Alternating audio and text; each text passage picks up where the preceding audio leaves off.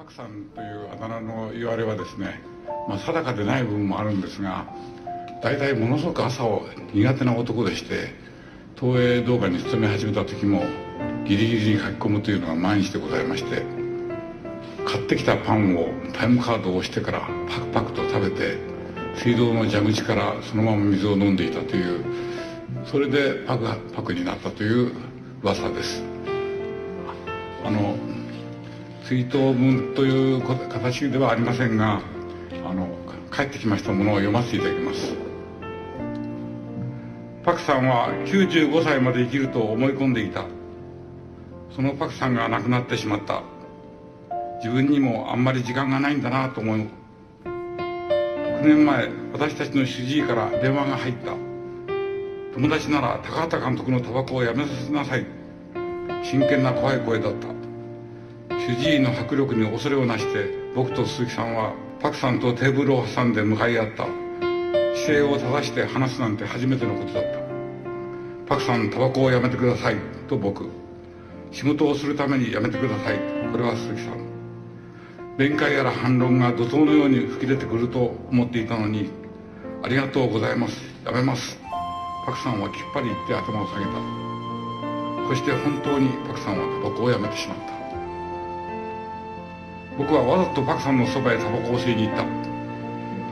いいいい匂いだと思うよ。でも全然吸いたくなくなった。とパクさん。彼の方が役者が上だったのであったやっぱり95歳まで生きる人だなだなと僕は本当に思いました。1963年パクさんが27歳。僕が22歳の時僕らは初めて出会いました。その初めて言葉を交わした日のことを今でもよく覚えています。黄昏時のバス停で僕は練馬行きのバスを待っていた。雨上がりの水たまりの残る通りを一人の青年が近づいてきた。瀬川拓夫さんのところへ行くそうですね。穏やかで賢そうな青年の顔が目の前にあった。それが高畑勲ことパクさんに出会った瞬間だった。55年前のことなのになんではっきり覚えているのだろう。あの時のパクさんの顔を今もありありと思い出す。次にパクさんに出会ったのは東映動画労働組合の役員に押し出されてしまった時だった。パクさんは副委員長僕は職長にされてしまっていた。緊張で発見に苦しむような日々が始まった。それでも組合事務所のプレハブ小屋に泊まり込んで僕はパクさんと夢中に語り明かした。ありとあらゆること中でも作品について。僕らは仕事に満足していなかった。もっと遠くへもっと深く。誇りを持てる仕事をしたかった。何を作ればいいのかどうやってたくさんの教養は圧倒的だった。